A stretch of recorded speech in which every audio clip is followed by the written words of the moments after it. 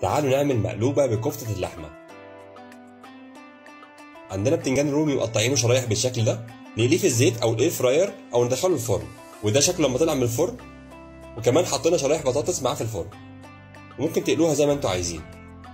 نبدأ نتبل الرز. عندنا 3 كوبايات رز مغسولين. هنضيف عليهم معلقة كبيرة من سبع بهارات.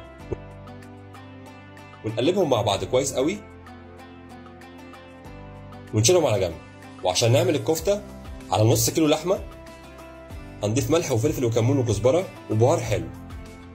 مع فصين توم وهنا عجناهم مع بعض كويس. نشكلهم دواير زي البرجر بس صغيرين عشان ما ياخدوش حيز في الحلة لحد ما نخلص الكمية كلها. وده حجم الكفتة. نبدأ بقى نشوحهم في طاسة فيها زبدة وزيت. هننزل بالكفتة. وأول ما يحمر هنقلبه على الناحية التانية.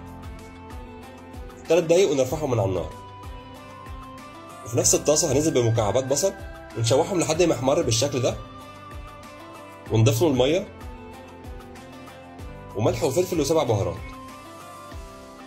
ونقلبهم مع بعض كويس قوي. وأول ما يغلي نرفعه من على النار. في الحلة اللي هنسوي فيها هندهنها زيت. ونرص طبقة من البتنجان. وشوية من حلقات البصل. وشرايح الطماطم. وعليهم معلقتين من الرز.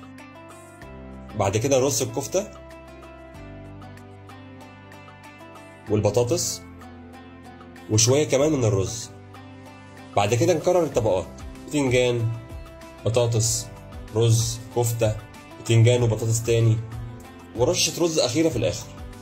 وننزل عليهم بالمية اللي جهزناها. هنغطي عليه ونسيبه يستوي زي الرز العادي. وبعد ما استوى نحط عليه الطبق اللي هنقدم فيه. ونقلبه بالشكل ده. نسيبه خمس دقايق ونبدأ نرفع الحلة بالراحة.